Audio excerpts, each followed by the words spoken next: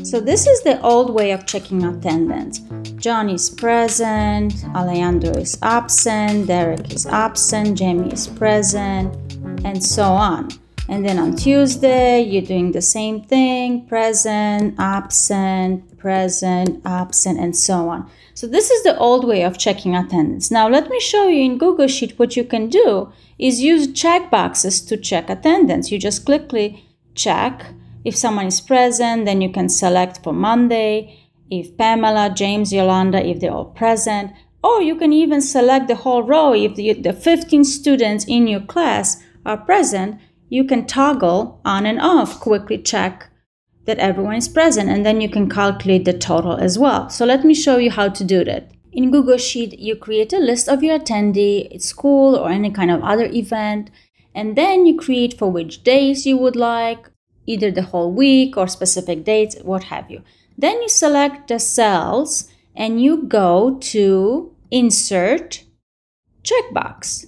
You insert checkboxes, and now you also want to make sure that you will be able to count these checkboxes. So let me delete this formula to show you how to do it from scratch. To count the checkboxes, right now, if I check this, it's great, but I can't really, I'm not counting them. So the way to count them, you create a count if formula. Now you have to select the range where the checkboxes are comma, and now you have to put your criteria. So my criteria right now is true.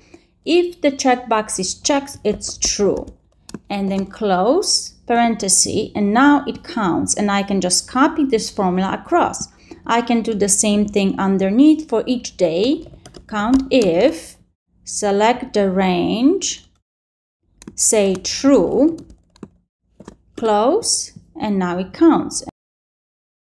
Now, I can't do the same thing at the very end because it just counts true. So the way to count the calculation here, if I want to have a grand total at the bottom, I have to actually do sum and you will count the whole attendance for everyone for the whole week.